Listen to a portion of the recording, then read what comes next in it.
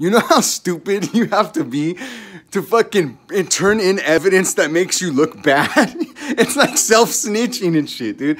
The people at the restaurant, they thought that they could fucking they they thought a lot of things, dude. They fucking they they, they need to think more is what they fucking need to think.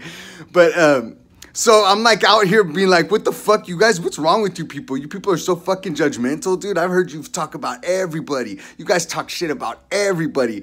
And this dumb motherfucker thought it would be a good idea to make a little indoctrinated viper that they have working in there write a fake email saying he and at the end of the email it says he even told me his sexuality the bitch has a, a dyke for a mom and she's and she's they thought that would be like a good thing to turn in like this is evidence that he is danger and he talks about sexuality. He is ta danger and eh, eh, ta sexuality too, Your Honor. Ta danger, ta sexuality over there. Yeah. fucking idiots.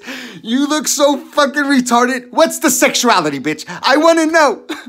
you already know. It's not you. It's not you. It's none of you fucking people from Lola 55. It's just funny how fucking retarded you are and you guys are running a business. And it sucks because you guys are so fucking retarded and selfish that you're taking money from good people and persecuting other restaurants by stealing their contracts and shit. There's real restaurants out there that don't have fucking Miles McPherson.